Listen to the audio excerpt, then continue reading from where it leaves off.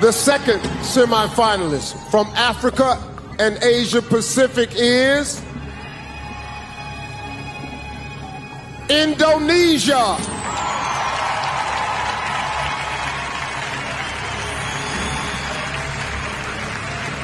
How are you? I'm amazing right now. Absolutely. Here's your question. You tried cryotherapy as a way to help mentally improve yourself for Miss Universe.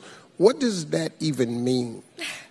Well, I wouldn't say mentally, but it's more for my body. So it's basically where you enter a human sized fridge in nearly freezing temperatures, and it's just to relax your muscles because, you know, us Miss Universe girls have to work out really hard. should try it. I don't, I don't think so. I have no reason to be freezing. Black people don't like cold weather, so. Thank you, Indonesia. There are so many people in this world who are left voiceless due to the fact that they don't have a birth certificate, a basic human right. My charity, Voice for the Voiceless, is working hard to ensure all Indonesians have that right. I inspire to be a woman who not only stands for herself, but stands for those who cannot stand on their own. Thank you. The eighth contestant entering the next round Indonesia. I am one of the youngest contestants here. I'm only 20. I was actually one of the youngest Miss Universe Indonesias that has been ever crowned. That's something that probably sets me apart.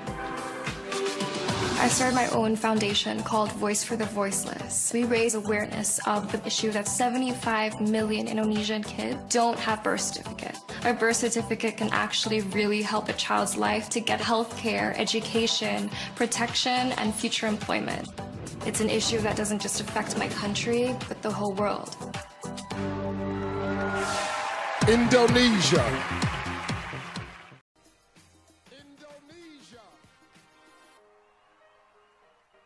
That feeling when the adrenaline kicks in and the endorphin kicks in when I'm on the rugby field. That is when I feel the most powerful, when I'm in my element.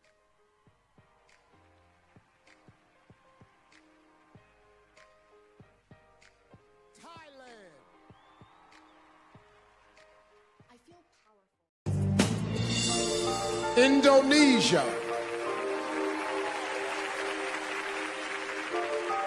I chose the color gold because I think that gold is a very bold color and I'm showing the world this is me. This is Miss Indonesia. This is Frederika.